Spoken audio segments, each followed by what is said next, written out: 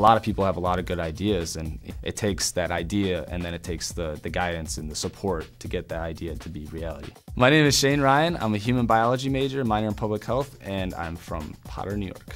Nobody really knows Potter. It's a beautiful area, wine country, population like 1,500. We have a stop sign. We don't even have like a light or anything. My name is Chris Fernando. I am the co-director of the Office of Academic Support Services at the University at Albany. The one thing that I'll remember most about Shane Ryan, how one person with faith, passion, and just a willingness to work hard can make all the difference in the world.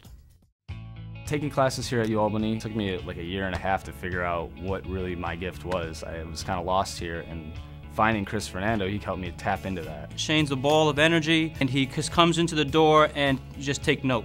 Anybody that comes to me for help, you know, I'm there. Shane is special, no question about it. He has traveled abroad, um, helped to build homes, in the West Indies and Jamaica. He's, he's been a mentor for Project Excel. He's one of our best mentors. I see people and they need something and I'm like, if I can fill it, I'm gonna help you. And if I don't know how to do it, we'll figure out how we can do it. You can just see the optimism, the creativity, and the talent just shine through Shane. Everybody can be successful.